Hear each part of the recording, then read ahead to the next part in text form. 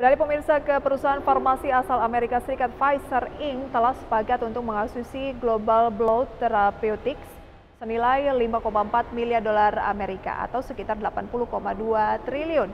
Dan Pfizer yang berbasis di New York, Amerika Serikat ini akan membayar 68,5 dolar Amerika untuk setiap saham Global Blood yang beredar dan nilai ekuitas uh, total kesepakatan tidak termasuk utang sekitar 4,6 miliar dolar Amerika.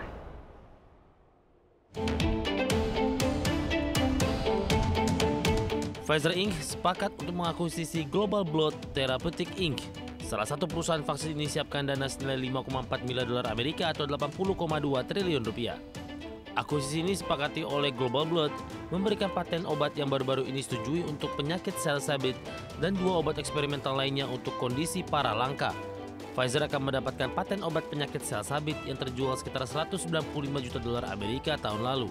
Perusahaan farmasi tersebut membutuhkan produk baru karena khawatir terkait kondisi pandemi yang mulai berkurang, sehingga mengancam pendapatan mereka dari vaksin COVID-19 dan obat Paxlovid. Sehingga mengancam pendapatan mereka dari vaksin COVID-19 dan obat Paxlovid. Mengutip media setempat, Chief Business Innovation of Pfizer Amir Malik mengatakan perseroan menargetkan tambahan pendapatan yang disesuaikan dengan risiko sebesar 25 miliar dolar Amerika pada 2030 melalui pengembangan bisnis.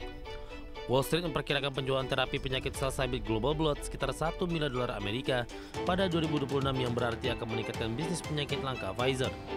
Pfizer memanfaatkan peluang pasar itu melalui advokasi seluruh dunia dan kemampuan penggantian biaya yang telah dibangunnya untuk portofolio penyakit langka termasuk dalam hematologi. Berbagai sumber addiction.